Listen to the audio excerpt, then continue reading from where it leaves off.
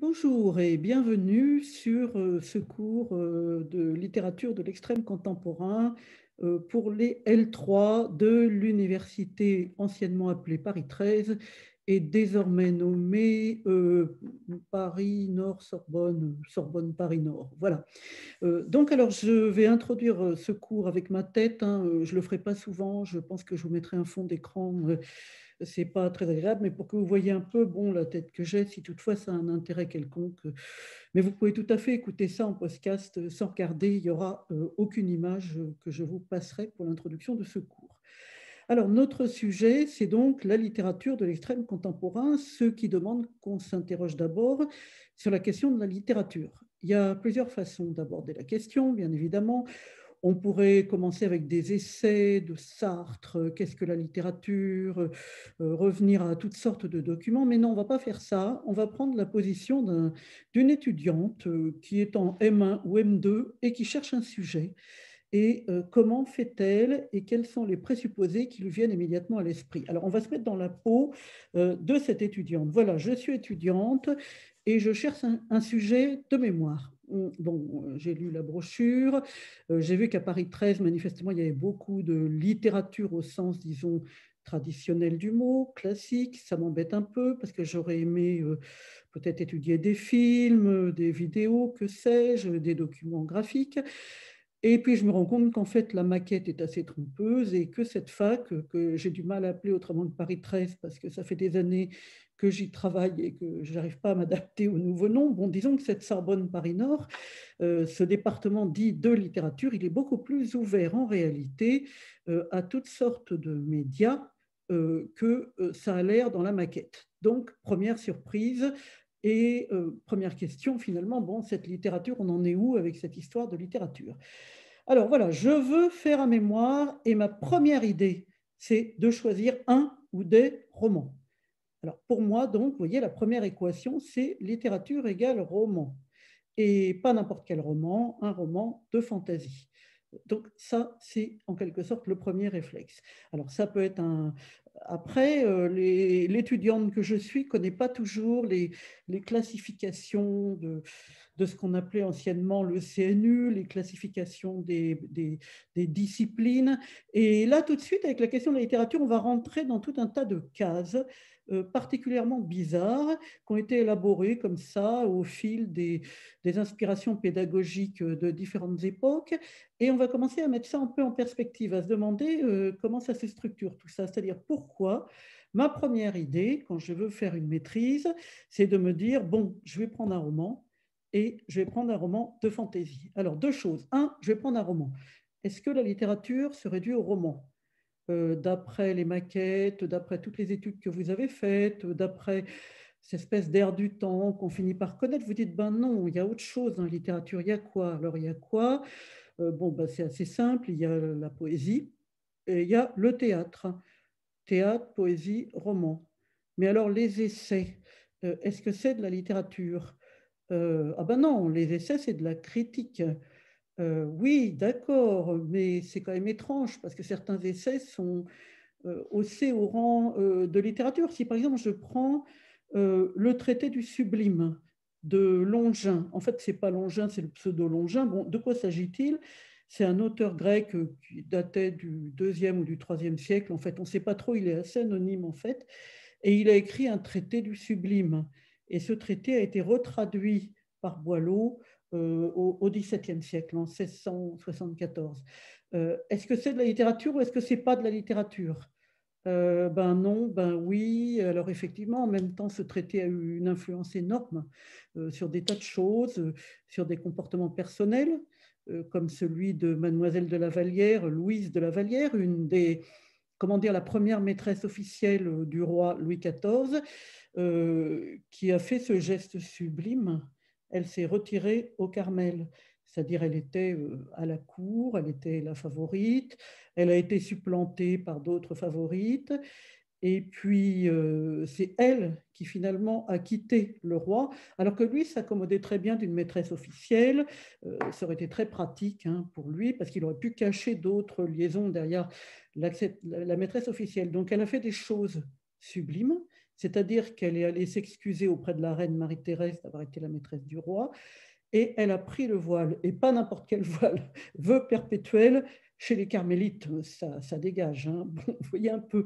Donc, comment ça se fait que la prise de voile de la Vallière, ça commence en 1666, pardon, 1670, c'est le début, et ensuite les vœux perpétuels, c'est euh, c'est ça, 1675.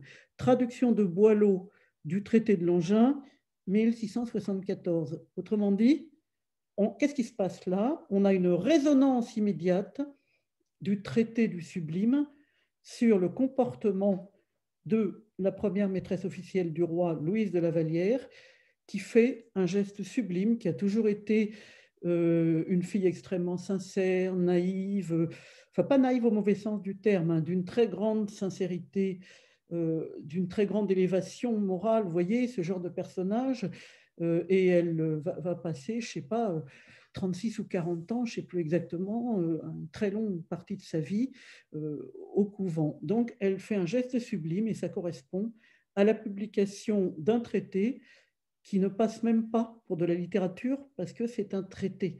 Alors, vous voyez, là, on est en train de travailler les petites frontières, hein, se demander euh, euh, comment ça se passe, cette histoire de littérature, euh, mais simplement en s'imaginant en, tant qu'étudiante en train de chercher un sujet. Alors, donc, je reprends mon étudiante, elle se dit, oh, ce serait bien, finalement, le, sublime, mais ça a l'air super intéressant. Donc, il y a ce traité, sa réédition au XVIIe siècle. ce comportement sublime est qualifié comme tel hein, dans les gazettes de l'époque de Mademoiselle de la Vallière, elle est sublime. Et puis il y a aussi l'influence de ce traité sur des gens comme l'anglais Burke, alors ça s'écrit B-U-R-C-K-E, ou alors tout simplement Kant. Alors là, je me dis, ah voilà, je vais travailler ce sublime, c'est vachement intéressant.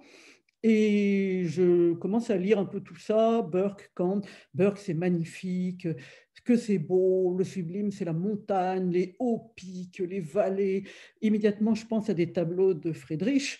Et euh, là, j'en arrive à ma première euh, question sur Friedrich. Je vais vous la donner tout à l'heure pour ne pas perdre euh, le fil. Donc, des tableaux de Friedrich, quelle splendeur sublime. et puis, voilà, je me dis, c'est trop bien, je vais étudier ça. Alors, je commence à lire Kant. Je lis le traité sur le beau, gna gna gna sans concept, le beau universel sans concept, ouh là là là là là, que c'est ennuyeux.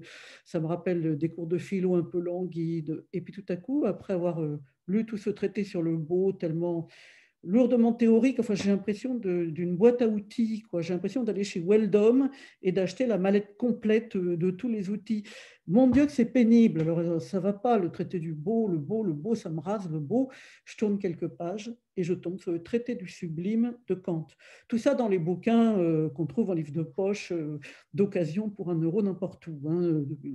les critiques de la raison pure, les traités du beau, du sublime, enfin toute l'œuvre de Kant. Vous voyez, là, je suis en train de hum, gratter du côté non plus seulement des traités qui pourraient passer encore pour étant dans une certaine forme de sphère littéraire, mais là j'ai gratté du côté d'une autre discipline qui est la philo. Alors d'un seul coup, là, encore une frontière, d'un côté la littérature, de l'autre la philosophie, c'est pas la même chose. On vous a habitué à ça. Il y avait des cours de français, mots pour désigner en fait des cours de littérature. Mais il n'y avait pas que la littérature, il y avait aussi des trucs de grammaire, euh, des trucs de disserte. Enfin bon, euh, c'était pas très clair. La littérature était curieusement associée aux, méthodes d'écriture, alors qu'a priori, ça n'a rien à voir. Bon, mais déjà, vous avez été formaté à ça. Et puis après, la philo, c'était autre chose. Hein. Vous voyez, on pas, il n'était pas question de croiser euh, littérature et philo. Ça, non. Et voilà que je suis en train de lire le traité du sublime de Kant. Et euh, ce vieux puceau de Kant, hein, comme disait euh, mon prof de philo à l'époque, hein, à moi quand j'étais petite, hein, et, je me dis, mais attendez, mais, c'est merveilleux ce, bouquin. Là, vous avez entre les mains, non pas le machin sur le beau, super emmerdant, il faut bien l'avouer, mais euh, bourré de concepts pénibles, vous avez quelque chose qui a un souffle extraordinaire. Vous avez un texte qui vous emporte, et là encore, vous ressentez quelque chose de ce XVIIIe siècle à la fois sensible, parce que là, avec Kant, on a passé un siècle, hein, vous avez compris, on n'est plus au temps de Mademoiselle de la Vallière. Mais moi, je continue mon histoire du sublime. Hein, je, suis en train de me dire, je vais travailler sur le sublime, c'est vachement intéressant. Et voilà, alors j'en arrive là, je continue en tant qu'étudiante, et je me dis, c'est trop beau, ce texte, c'est un vrai texte littéraire, pas, euh, pas, du tout comme le traité sur le beau, le traité sur le sublime. Il y a une fibre, il y a un sentiment, euh, il y a l'émergence de quelque chose de, euh, qui, qui, vous emporte. Et là, vous dites, bon, le gars de Königsberg, il n'a jamais quitté Königsberg, il a travaillé à Königsberg. Et eh ben en fait, il a extraordinairement vécu des émotions et des pensées qui l'ont emmené vers l'infini au-delà, euh, au-delà des terres et des mers. Et vous vous dites, waouh, quand même, ce traité sur le sublime, euh, c'est formidable. Alors là, on vous dit, ah, gna, traité sur le sublime, c'est de la philo, c'est pas de la littérature, mais vous, vous sentez bien que c'est de la littérature. Vous sentez bien qu'il y a un souffle de folie là-dedans et que ce souffle correspond, résonne avec des tas de choses de l'époque. Alors du coup, vous tombez sur Anne Radcliffe. qui c'est Anne Radcliffe? Donc R-A-D et puis Cliff comme une falaise avec des F en plus, enfin bon, disons CLI, 2 FE. Euh, donc Anne Radcliffe, romancière anglaise, euh, créatrice et instauratrice de ce qu'on a appelé ensuite le roman gothique. C'est elle qui a inventé le genre. Alors, euh, elle, est, elle, elle est à la fin du 18e, à cheval entre 18 et 19. Et elle a écrit, alors je vous dis en, vrac, hein, Les mystères du Dolphe, La forêt, euh, et puis des, tas de livres qui ont été traduits bizarrement en français, je veux dire le titre, et qui en fait renvoient beaucoup à l'Italie. C'est-à-dire, il y en a un, j'ai envie de le retraduire, il a été traduit par le Julia euh, ou les souterrains de je ne sais quoi. Bon, et en fait, le vrai titre anglais, c'est A Sicilian Romance. Donc, romance, c'est extrêmement difficile de savoir euh, ce, qu'il en est euh, du mot romance en anglais. Romance, c'est très, très particulier. Euh, il y a, a des, bouquins entiers sur la, question. mais malgré tout, ce qui m'intéresse ici, c'est euh, non pas le mot romance auquel on reviendra plus tard éventuellement, mais le côté italien. Il y a un autre roman qui s'appelle en anglais The Italian et qui a été traduit par je ne sais quoi en français. Donc, euh, vous regardez Anne Radcliffe et vous allez comprendre d'un seul coup le sublime. C'est-à-dire, vous dites, mais oui, ce sublime philosophique se traduit euh, dans les romans. Et dans les romans d'Anne Radcliffe, c'est évident. C'est-à-dire, qu'est-ce qui se passe? C'est une jeune fille qui se promène à la montagne, toujours la montagne, hein, avec ses parents, s'ennuie un peu, la jeune fille, euh, c'est un peu barbant, tout ça, mais malgré tout, elle est enchantée dès qu'elle voit des cimes immenses et des vallées incroyables. Elle est emportée par le sentiment du sublime qui correspond étroitement à ce type de paysage. Alors naturellement, ses parents disent gna gna gna, reviens dans la, j'allais dire dans la caravane, non, euh, reviens dans le machin à chevaux là. Euh, bon, bref, rentre avec nous, reste tranquille, sois gentil, sois sage, gna, gna.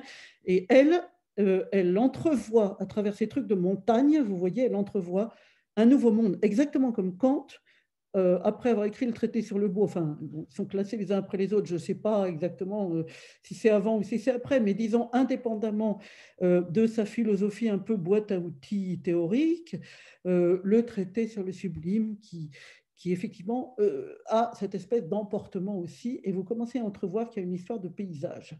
Donc ça, ça ne va pas nous faciliter la tâche, parce que vous voyez où on en est. On a des romans d'Anne Radcliffe, on a de la philosophie, Kant, on a un traité ancien, Longin, retraduit par Boileau au XVIIe, on a l'histoire de Mademoiselle de la Vallière qui fait partie donc de l'histoire, et on a quoi encore euh, J'ai un peu oublié, mais enfin on a de la philo, de l'histoire, euh, euh, des traités, bon, où c'est, qu'est-ce qu'on fait avec tout ça hein Alors, Anne Radcliffe, je continue. Qu'est-ce qu'il arrive à la jeune fille? En gros, alors elle est soit enlevée, soit perdue, soit je sais pas quoi. Bref, elle se retrouve dans un château. Et là, euh, naturellement, c'est le château de la sexualité euh, avec d'horribles Italiens euh, qui veulent la violer, qui la pourchassent, etc. tout ça sur un mode extraordinairement ludique. Et il y a toujours un moment où cette héroïne monte sur les remparts euh, ou, le, donjon, n'importe quoi d'un peu élevé, et elle est emportée par la beauté du paysage, c'est-à-dire il y a un moment où le, la lectorice ou le, le lectorice, enfin les lecteurs, euh, les lectorices, voilà, euh, du, du, bouquin se disent mais c'est pas vrai, elle est dix mille fois mieux dans ce château entouré d'abominables Italiens violeurs euh, euh, et, et félons, vous voyez le genre comme ça. Tout ça est, très très distancié, hein. c'est pas une apologie du viol, hein, soyons clairs. Hein. Et euh, donc cette espèce de, elle est emportée par un sentiment qui est le sentiment du sublime. En haut du château, à contempler les paysages magnifiques, et, là, évidemment, il va falloir qu'on parle du paysage. Autrement dit, il va falloir qu'on parle d'histoire de l'art. Il va falloir qu'on lise des livres euh, sur le paysage, c'est-à-dire, euh, comment dire, euh, à quel moment on a commencé à parler de paysage, pourquoi Montaigne avait tellement peur des montagnes, pourquoi on n'a plus peur des montagnes au XIXe siècle? Et j'en arrive à ma question sur Friedrich. je ne sais pas si vous connaissez Friedrich, qui est un peintre qui a peint énormément de montagnes terribles, de pics euh, escarpés, de cimes, etc. Euh, dans quelle mesure pensez-vous que euh, on pourrait rajouter à ce corpus de la peinture comme celle de Friedrich? Alors Friedrich, on en a plein à Berlin. Il y a, il y a une salle de musée à Berlin remplie de magnifiques Friedrich. Euh, donc, euh, ma question pour les L3, euh, ce serait que vous me trouviez quelques tableaux de Friedrich sur Internet, etc. Et vous m'enverrez tout ça. voilà. Alors oui, je ne vous ai pas expliqué le fonctionnement du cours. là, c'est un peu idiot. donc, je l'expliquerai après parce que là, sinon, je ne vais pas arriver à finir mes histoires. Donc, alors, là, je finis ce que j'étais en train de dire. à ce stade, quand on est en train comme ça d'explorer un sujet, on se rend compte que la littérature fonctionne étroitement avec d'autres manifestations de la pensée, de la culture, de l'art, et que tout ça constitue un tout euh, impossible à démêler et qui va donc ne pas falloir se limiter à l'étroitesse un peu sèche euh, du roman. Alors naturellement, là, mon étudiante, au moment où elle arrive ça, elle dit, je voudrais travailler sur Anne Radcliffe, euh, le roman gothique, en rapport avec le sublime. Et du coup, elle va travailler de telle façon que le roman sera central, elle aura ce qu'on appelle un corpus, ce sera composé des différentes œuvres d'Anne Radcliffe ou d'autres euh, gens de la même époque, euh, comme celui qui a écrit Le Château d'Autrande, c'est le même genre, il s'appelle Horace Walpole, Walpole excusez-moi, je prononce mal, Walpole, enfin bon, peu importe, vous trouverez. Euh, bon, bref, il y en a plein des, des, auteurs comme ça, des autoristes, bref, et elle va donc être obligée de définir un corpus de romans parce qu'elle est inscrite en littérature, alors que, et du coup, tous les autres, euh, les autres médias, le mot va venir bientôt pour la suite du cours, euh, euh, ben, tous les autres médias, finalement, ben, qu'est-ce qui va se passer avec eux? Ben, ils, vont être, ils vont être autour comme des satellites. Elle va être obligée de centrer sur le roman et ensuite de créer un effet satellite, c'est-à-dire que Kant, la Lavalière, Longin, etc., tout ça, Friedrich, tout ça, ça va être comme euh, une sorte de nébuleuse comme ça qui tournerait, enfin pas, une, je pense pas qu'une nébuleuse tourne autour de, enfin bon, vous voyez, il y a euh, comme quelque chose comme ça qui graviterait autour d'un centre obligé euh, qui serait les romans d'Anne Radcliffe, sauf que ça pose problème parce que les romans d'Anne Radcliffe en réalité n'ont pas plus de de raison d'avoir le projecteur central dirigé sur eux que tous les autres trucs. Et donc là, on commence à comprendre un peu quelque chose. Alors, parenthèse avant d'en arriver à la question de la fiction, qui va occuper un peu la deuxième partie de mon discours, Comment on va fonctionner? Alors, première remarque, je ne suis pas un border colis. Euh, au premier semestre, j'ai passé mon temps à courir après les étudiantes, à leur écrire, euh, à demander qu'est-ce que vous faites, où en êtes-vous, etc. Euh, ça, c'est plus possible. on ne peut pas travailler comme ça. Je sais que c'est extrêmement dur pour tout le monde, cette affaire de Covid, cette restriction, ces restrictions constantes, cette espèce de martyrisation des villes, c'est insupportable. Hein et, pour vous particulièrement, qui êtes toujours dans des situations très difficiles, euh, la population étudiante une population la misère étudiante, de la misère en milieu estudiantin, c'est pas nouveau, hein, on en parlait déjà dans les années 60. Hein.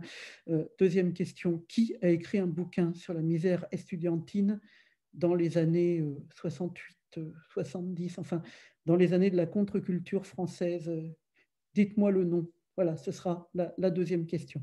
Donc, vous avez compris comment ça marche là avec mes questions, c'est-à-dire qu'en fait, euh, vous allez, euh, au lieu de passer un oral euh, en préparant un sujet que vous allez annonner, ça ira pas, je vais vous donner plein de questions au fil du cours, comme ça, vous repérez les questions, vous notez, vous prenez des notes, vous cherchez, et vous pouvez chercher très facilement euh, euh, sur n'importe quoi. Euh, je veux dire, vous, cherchez aussi bien sur un téléphone portable. Vous voyez, il n'y a pas besoin d'avoir des moyens extraordinaires. D'ailleurs, les cours peuvent s'écouter tout à fait sur des, sur des portables.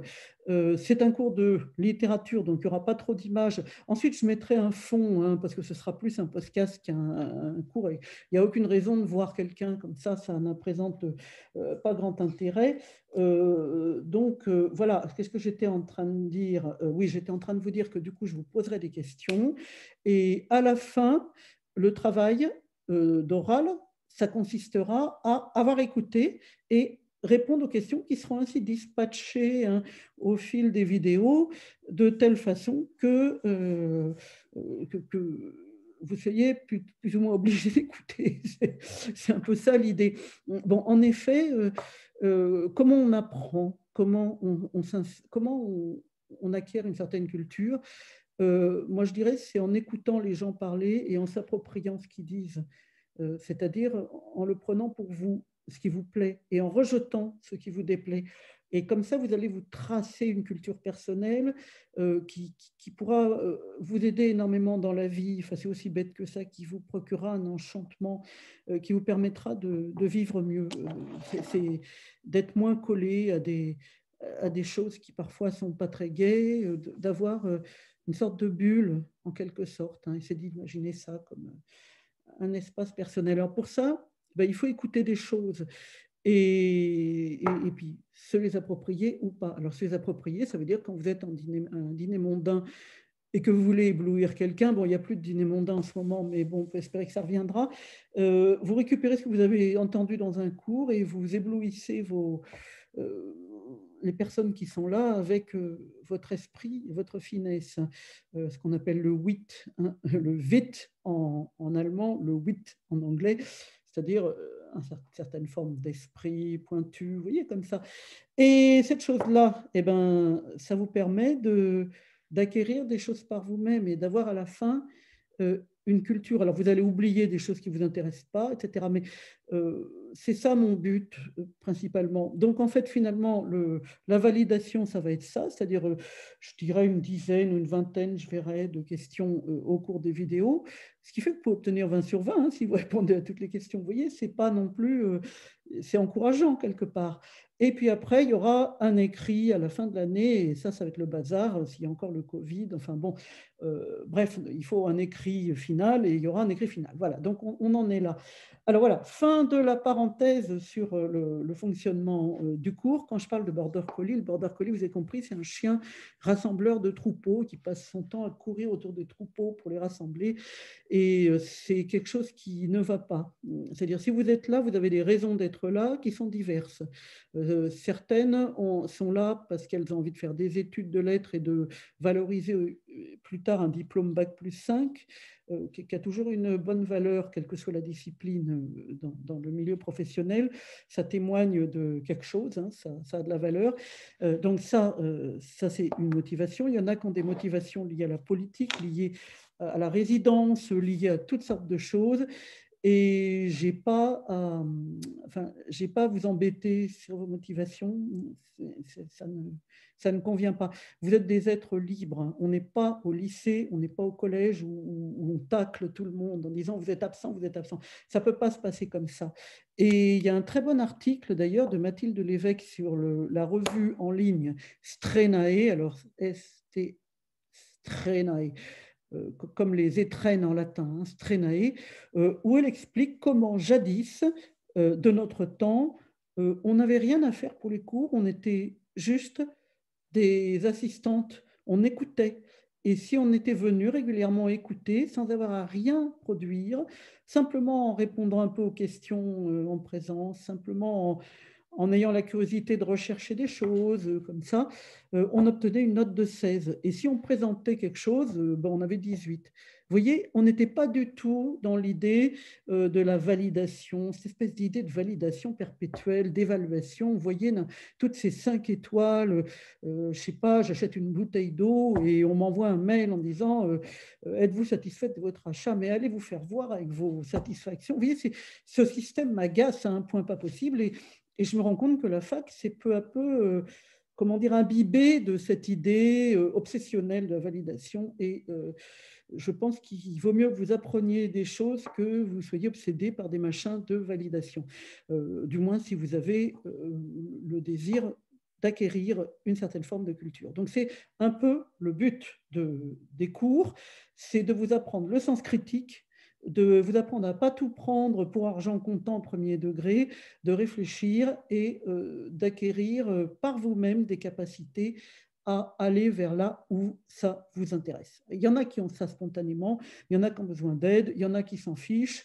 Euh, là, c'est, j'ai envie de dire, c'est votre affaire et comme dit euh, Dieu dans le grand théâtre du monde de Calderón de la Barca, El Gran Teatro del Mundo, del mundo je n'interviendrai pas. Donc, à la fin, euh, c'est eux qui voudront valider le truc, m'enverront les réponses aux questions et ça fera une sorte de long ruban, tout ça par mail, vous trouvez le mail dans la brochure, et ça ira bien pour l'oral. On ne peut pas faire autrement, de toute façon, avec ces histoires de Covid, je ne vois pas comment on peut se débrouiller chacun, chacune des profs essaie de trouver des solutions, mais bon, voilà. Bien, bien, bien. Alors maintenant, j'en arrive à la question euh, numéro 2, si j'ose dire, de la littérature. Comment la littérature a évolué vers la fiction et pourquoi ce mot fiction a envahi notre espace mental, reléguant quelque part le mot littérature?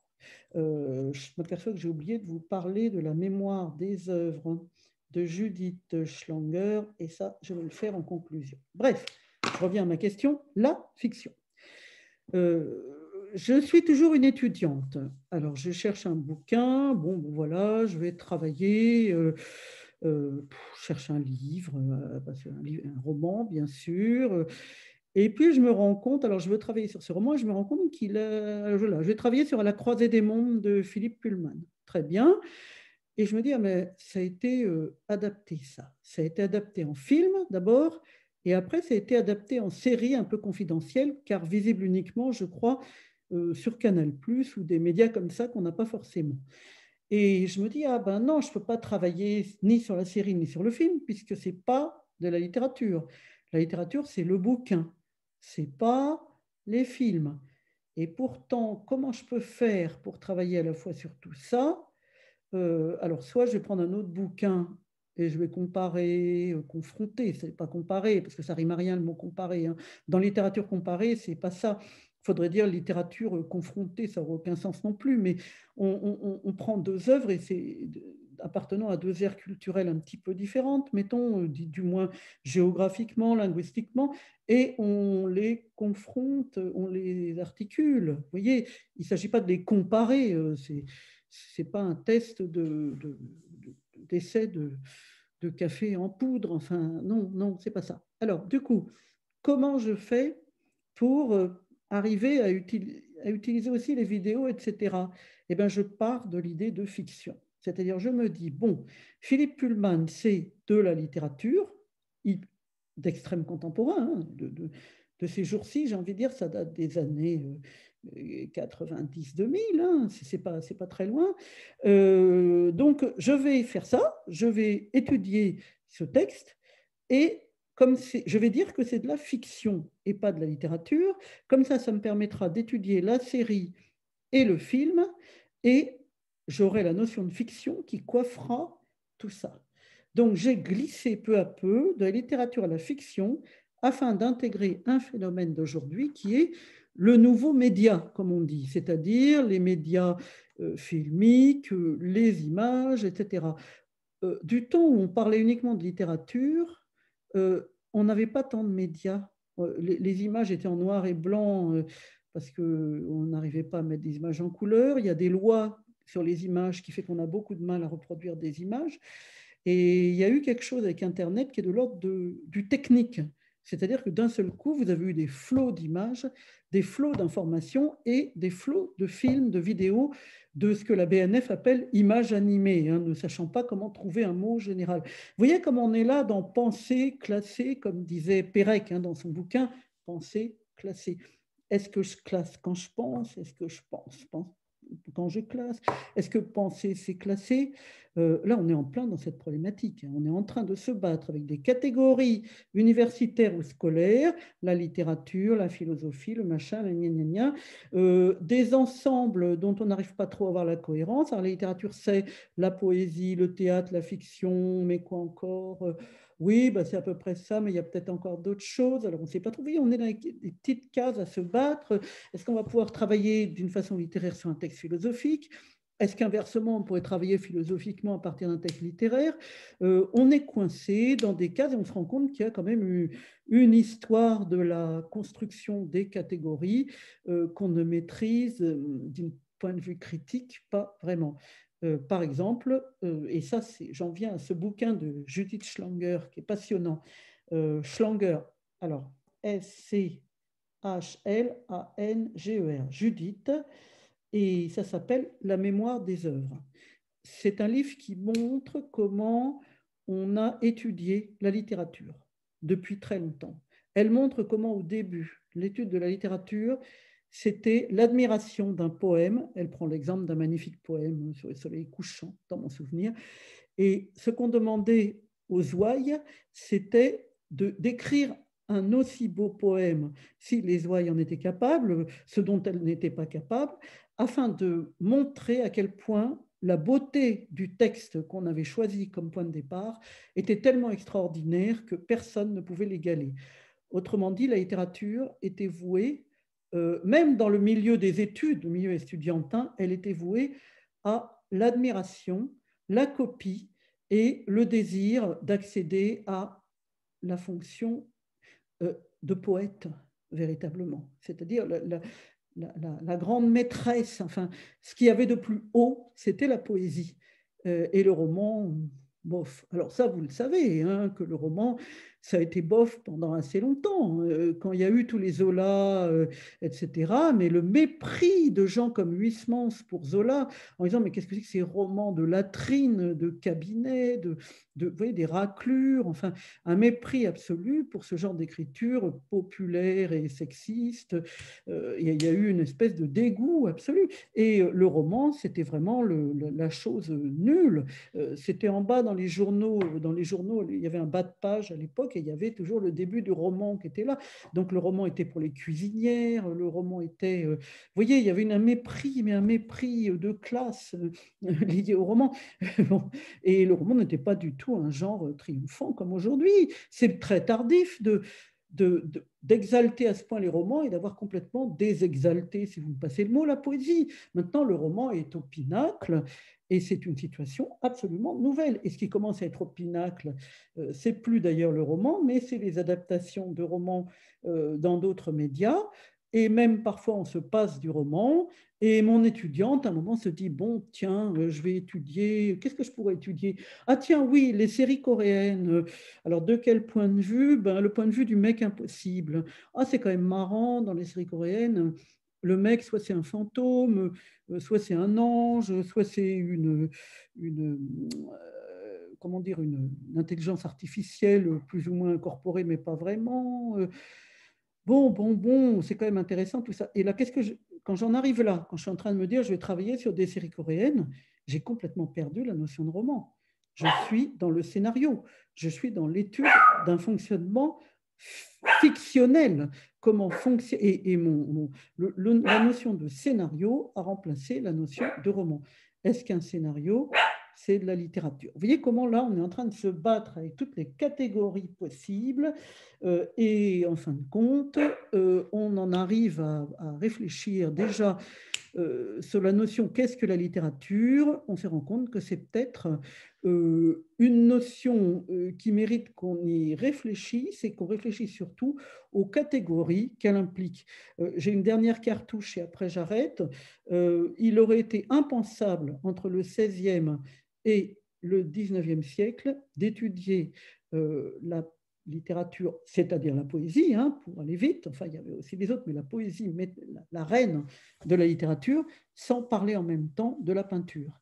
Et ça, c'est dans le cours de L1, hein, qui est à côté sur YouTube, euh, ce qu'on appelait la poétique, qui n'a rien à voir avec la poétique des, des, des, contemporains. Vous voyez ce que vous avez étudié sous le terme de poétique, c'est pas ça, c'est un autre sens du mot poétique.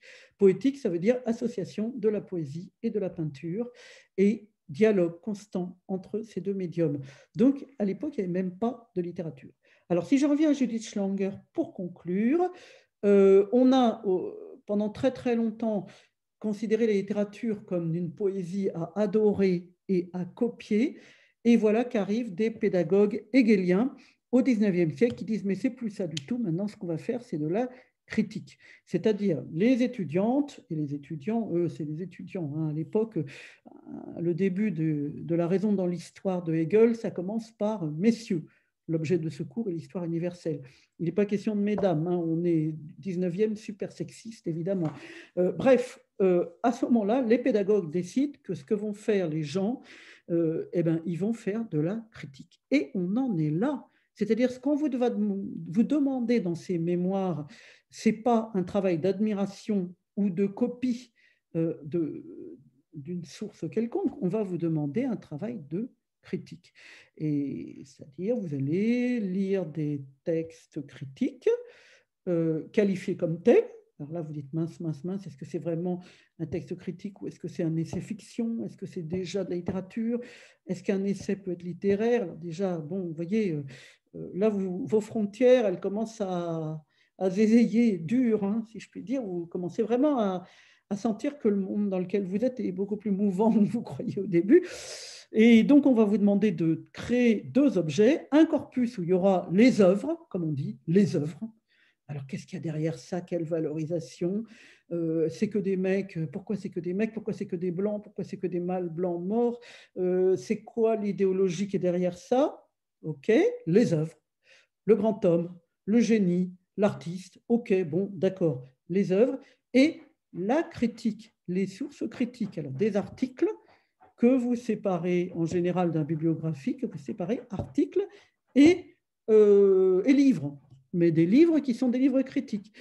Alors, du coup, euh, voyez dans quel marécage infini euh, de réflexion s'articule déjà pour commencer la notion de littérature d'aujourd'hui. Euh, on va voir qu'il y a d'autres aspects, évidemment, mais là, c'était pour faire une sorte d'introduction sur euh, la porosité des frontières et l'histoire des frontières, hein, en quelque sorte. Comment ont été élaborées peu à peu des frontières et pas seulement des frontières, mais aussi des cases euh, aujourd'hui étouffantes, hein, puisqu'il y a pas mal d'étudiantes qui arrivent en disant, mais bon, moi j'aimerais étudier tel mythe, euh, mais je veux l'étudier dans tous les médias possibles. Euh, alors du coup, je suis en histoire de l'art si j'étudie des tableaux, je suis en philo si j'étudie Kant, je suis en littérature si, vous voyez, case, case, case, case, case. Et donc, euh, ça va commencer par ça, par une réflexion sur les cases et sur le statut de la réflexion. Donc, euh, voilà, donc c'était pour vous introduire un peu à tout ça et aussi aux différentes façon de faire. Alors, donc, vous avez bien compris les questions. Donc, à la fin, ça sera un long ruban. Hein. Même si vous avez un téléphone, vous pouvez faire un mail hein, en, en, coupant, collant. Euh, c'est pas un problème. Hein. Je ne demande pas une qualité exceptionnelle. Donc, trouvez-moi euh, quelques tableaux de Friedrich qui illustrent l'idée du sublime lié au paysage. Euh, vous pouvez d'ailleurs regarder euh, ce qu'il en est, si ça vous intéresse, de la notion de paysage et de son évolution. Il y a un bouquin hein, sur le sujet qui, du coup, appartient à l'histoire de l'art, mais on s'en fout. Vous avez compris qu'on va exploser toutes ces frontières ridicules. Et ensuite, de la misère en milieu étudiant, qui est l'auteur euh, dans les années 70. Voilà, merci beaucoup. À bientôt.